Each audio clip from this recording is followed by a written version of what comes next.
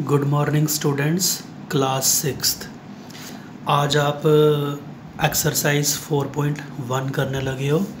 ये एक नया यूनिट हमने शुरू किया था यूनिट फोर जिसका नाम था जोमेट्रिकल आइडियाज़ शायद इसका नाम था बेसिक जोमेट्रिकल आइडियाज़ तो मैंने आपको इसकी कुछ डेफिनेशंस भी भेजी हुई हैं। तो ये क्वेश्चंस करने के लिए उन डेफिनेशंस को अच्छी तरह से पहले अपने दिमाग में बिठा लो। तभी ये क्वेश्चन आएँगे आपको। चलो क्वेश्चन नंबर वन करते हैं इसका। देखो question number one question number one में, ये देखो, ये आपको एक फिगर दी हुई है। ठीक है? इस फिगर में आपने किन की पहचान करनी है? आइडेंटिफाई करके उनकी पहचान करके उनको फिर लिखना भी है। फाइव पॉइंट्स पाँच पॉइंट के नाम लिखने हैं आपने। तो पॉइंट को कैसे रिप्रेजेंट किया जाता है कागज़ पे? एक डाट के साथ और उसका कोई नाम होता है तो बड़े सारे पॉइंट इधर देखो, एक डी आ गया डी फिर कामा डाल के ई फिर ओ फिर सी फिर बी ये सारे के सारे क्या आ गए पॉइंट्स आ गए, ठीक है? आई ना समझ बात, उसके बाद क्या है? इस फिगर में बहुत सारी लाइंस हैं लाइन आपने किसी एक लाइन का नाम लिखना है। लाइन को पहले रिप्रेजेंट कैसे करते हैं? उसको पहले याद रखो, कैसे करते हैं? लाइन के दोनों तरफ़ क्या होता है? एरो होता है ना? तो यहाँ देख लो, एक तो ये दिख रही है आपको ये लाइन देखो, इसके इस तरफ़ भी एरो है, इस तरफ़ भी एरो है. तो क्या नाम बन सकता है इसका? इसका नाम बन सकता है डी बी बन सकता है ना डी बी ठीक है? डी बी हो गई एक इसी में देखो और कितनी लाइनें आ रही हैं। डी ई भी आ रही है। ये वाला पॉइंट और ये वाला पॉइंट दिमाग से निकाल दो। तो ये क्या डी ई ये भी तो एक लाइन बनी ना। और कौन सी आ रही है? ई e, ओ भी आ रही है। ई e, ओ देखने के लिए आप डी और बी को दिमाग से निकाल दो। तो ये बन गई। उसके बाद है फोर रेज रे की क्या पहचान होती है? एक तरफ़ से वो बंद होती है। और एक तरफ़ से उसका एरो हेड होता है। कर लो पहचान, ये देखो, एक ये, कौन सी? ओ बी फिर ये दूसरी ओ सी ये भी एक है, लेकिन यहाँ पे कोई नाम नहीं दिया तो इसको रहने दो। एक ओ बी लिखी, एक ओ सी लिखी, और ओ डी भी हो सकती है ओ ई भी हो सकती है, चार हो गई। उसके बाद five line segment line segment की पहचान क्या? दोनों तरफ़ से वो क्या होती है? बंद होती है डाट होते हैं। ये देखो, एक ये लिख लो आप डी ई एक ई ओ दो ओ बी तीन ओ सी चार। ठीक है? तो ये लाइन सेगमेंट्स हो गए। ठीक है? अब चलो मैं आपको लिख के भी बताता हूँ जब इस क्वेश्चन को करना है तो ये बुक अपनी आपने सामने रखनी है। तो exercise 4.1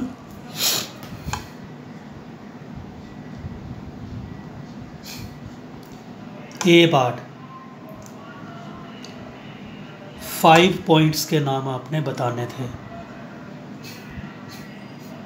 ये अभी जो बताए थे, एक डी था, फिर ई e आ गया, फिर ओ आ गया, फिर बी आ गया, फिर सी आ गया, ठीक है? बी पार्ट गया ए लाइन एक लाइन का आपने नाम बताना है। वो आपको मैंने बताया था। क्या? डी बी भी आप लिख सकते हो। क्योंकि ये लाइन है ना तो लाइन को इस तरह से रिप्रेजेंट करते हैं। ये ऊपर ऐसे कर दो। एक कहा था उसने, वैसे तो बहुत सारी बन रही हैं। और भी बन रही है एक। डी ई भी बन रही है, वो भी लिख लेते हैं। ये आ गया। उसके बाद ई e ओ भी बन रही है। ये ऊपर जो रिप्रेजेंटेशन दे रहा हूँ ना मैं, ये ज़रूर करना। इससे यही पता चलेगा कि हम ये लाइन की बात कर रहे हैं या लाइन सेगमेंट की बात कर रहे हैं। ठीक है? एक और भी बन रही है। ओ बी भी बन रही है। जितनी भी आपको नज़र आती है, लिख लो। उसने तो सिर्फ़ एक ही कहा था, हमने बड़ी सारी आपके सामने लिख दी। सी पार्ट है। फोर रेज़ चार रेस की पहचान। एक ओ बी है। रे को ऐसे रिप्रेजेंट किया जाता है। एक तरफ़ ही एरो देना है आपने। फिर ओ सी है। अभी बताया था आपको फिगर सामने रखते हुए। और देखो क्या है। ओ डी भी है। और फिर क्या है। ओ ई e है। रे के केस में एक बात याद रखना। जैसे ये देखो, ये एक रे है। इसको हमेशा ओ बी लिखा जाता है। बी ओ लिखोगे, गलत हो जाएगा। पहले किसको लिखा जाता है? जो इसका स्टार्टिंग पॉइंट होता है। और बाद में एरो हेड और ऊपर ऐसे दे देना आपने निशान। इस निशान को देने से क्या समझ जाता है बंदा? जिसको आप ये बात बता रहे हो कि ये उसने रे के बारे में बताया हुआ है। अगर ऐसे ऊपर लगाओगे तो मतलब लाइन के बारे में। अगर सीधा आपने ऐसे लगाया हुआ है दैट मीन कि ये लाइन सेगमेंट है ये। ठीक है? अब इसका डी पार्ट देखेंगे। पाँच लाइन सेगमेंट्स के नाम देने हैं आपने। फाइव लाइन सेगमेंट तो वो क्या आया एक? फाइव लाइन सेगमेंट्स एक डी ई आ गया। ऐसे निशान। आप कहोगे डी ई तो लाइन भी थी, लेकिन देखो उसको रिप्रेजेंट कैसे किया है वहाँ पर दोनों तरफ़ एरो हेड देखे। जब ऐसे किया तो मतलब ये लाइन सेगमेंट है, एक डी ई आ गई, उसके बाद डी ओ भी है, फिर ओ बी भी है, फिर ओ सी भी है, फिर ई ओ भी है, देख लेना रिपीट नहीं हो जाए कोई, पाँच देनी थी, हमने दे दी, और भी अगर आपको कोई दिखती है तो आप लिख सकते हो, एक और दिख रही है मेरे को डी बी भी दिख रही है, ठीक है? ये जो लाइन सेगमेंट मैंने लिखी है डी ई इसको अगर मैं ई डी भी लिखता हूँ, कोई फ़र्क नहीं पड़ेगा, इसको लिखा जा सकता है। अगर मैं डी ओ को ओ डी भी लिख दूँ, तब भी चलेगा ओ बी को बी ओ भी लिख दूँ, वो भी चलेगा। ऐसा ही जो लाइन होती है ना, जैसे ये डी बी लिखा है, इसको मैं बी डी लिख देता, तब भी चलता है ये। डी ई है तो ई डी लिख लेता, वो भी चलेगा। लेकिन रे में नहीं हम उल्टा कर सकते। रे में जो स्टार्टिंग पॉइंट है, उसको पहले ही लिखा जाता है। और बाद में जो एरो हेड है, उस पॉइंट को लिखा जाता है। तो ये क्वेश्चन नंबर इसका वन था। अब जल्दी से हम क्वेश्चन नंबर टू भी देख लेते हैं।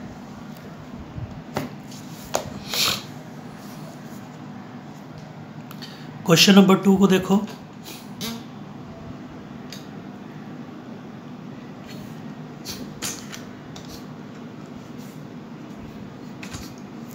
ये आपको फिगर दी हुई है, ठीक है?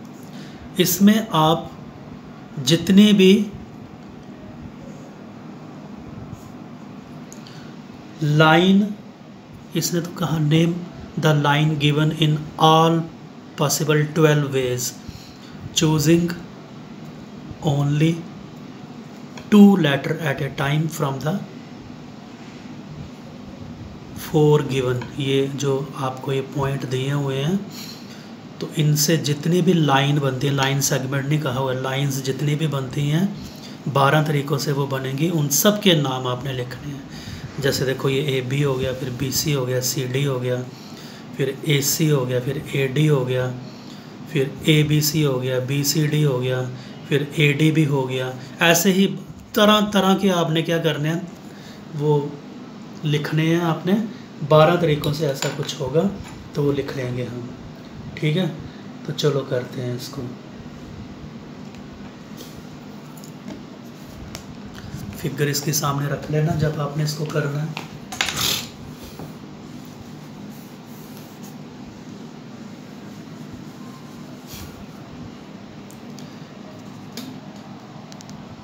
Question number two. तो जो भी लाइन बन रही है इसमें, एक तो ए बी बन रही है लाइन है तो ऊपर इस तरह से आपने ये करना है। ठीक है? उसके बाद ए सी है। पहले ए के साथ देख लो ना। फिगर को सामने रखते हुए। फिर ए डी है। फिर बी सी है।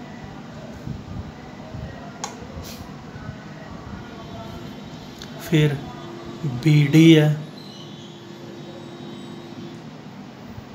फिर सी डी है। फिर उसके बाद है, एक, दो, तीन, चार, पाँच, छः तो हो गया। अब इन्हीं को उल्टा करना है। ए बी को क्या बना लेना है? बी ए बना लेना है। ए सी को क्या बना लेना है? सी ए बना लेना है।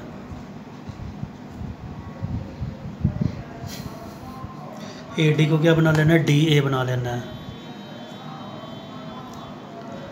बी सी को क्या बना लेना? है सी बी बना लेना। है बी डी को क्या बना लेना? है डी बी बना लेना। है और सी डी को क्या बना लेना? है डी सी बना लेना। है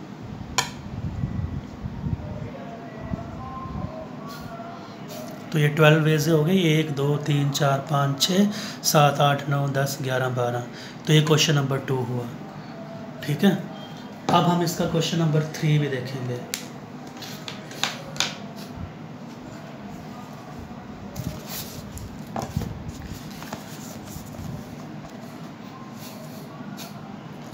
क्वेश्चन नंबर थ्री की फिगर देख लो। यहाँ पे दी हुई है।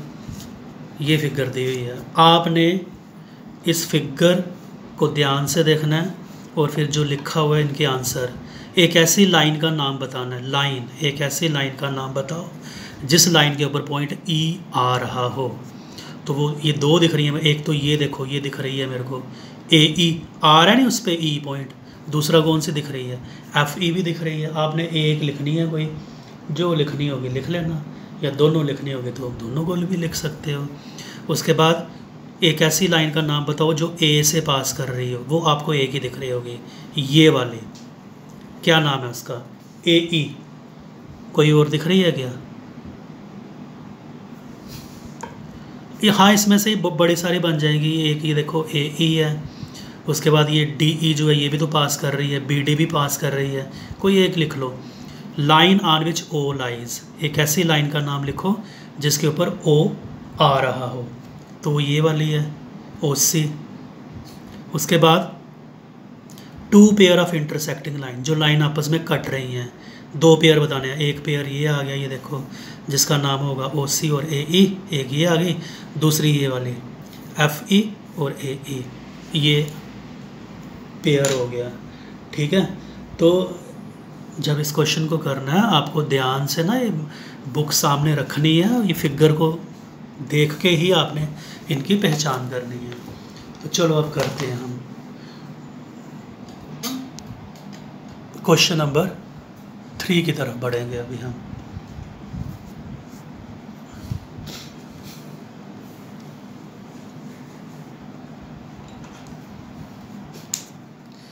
जिसका A part line containing point E एक ऐसी लाइन का नाम लिखना है लाइन कंटेनिंग पॉइंट ई याद रखना, जब इस क्वेश्चन को करोगे फिगर आपके सामने होनी चाहिए। ए ई लिख लो। ठीक है? लाइन है तो इस तरह से इसको रिप्रेजेंट कर लो। हो गया ये पार्ट और भी आप इसमें लिख सकते हो, एक ही लिखनी थी तो मैंने लिख ली। एफ़ ई भी लिख सकते हो आप। चलो लिख लो वो भी। और एफ़ ई या ई e एफ़ जो भी लिखना है। B part a line passing through A a line passing through A A से जो पास कर रही है, ये तो बहुत सारे हैं ए ई लिख लो। ये ए से पास कर रही है। ए की लिख ले थे, लिख ले। C part line on which O lies एक ऐसी लाइन लिखो जिसके ऊपर ओ आ रहा हो। तो वो कौन सी हो सकती है? ओ सी जिसको आप सी ओ भी लिख सकते हो, वो आपकी अपनी चॉइस है। ठीक है? उसके बाद है डी पार्ट है। Two pair of intersecting line two pairs of intersecting intersecting lines जोड़े में आपने ये लिखनी है इंटरसेक्टिंग लाइंस जो आपस में एक दूसरे को काटती हैं। तो ए डी के साथ आप लिख लोगे सी को। ए डी के साथ आप लिखोगे, क्या बोला मैंने? सी ओ या ओ सी फिगर में देखना, ध्यान से ये एक दूसरे को काट रही हैं। ये तो एक पेयर बना, दूसरा पेयर बना ए ई के साथ बन रही है कौन सी? ई एफ़ ये भी दोनों एक दूसरे को क्या कर रही हैं? काट रही हैं इंटरसेक्ट कर रही हैं ये। तो ये क्वेश्चन नंबर थ्री हो गया पूरा। ठीक है? उसके बाद हम करेंगे क्वेश्चन नंबर फोर मैं जल्दी से इसको मिटा रहा हूँ, ताकि वीडियो जो है लंबा ना बने। आप इसको पास करके उतार लेना। क्वेश्चन नंबर फोर देखो। क्वेश्चन नंबर फोर में वो कहता है?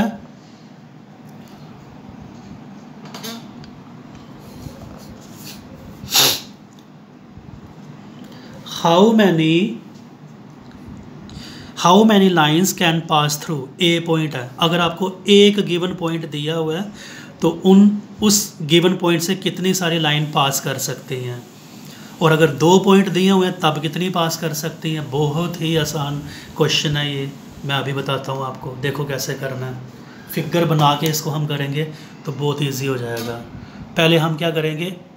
गिवन एक पॉइंट अगर दिया हो तो।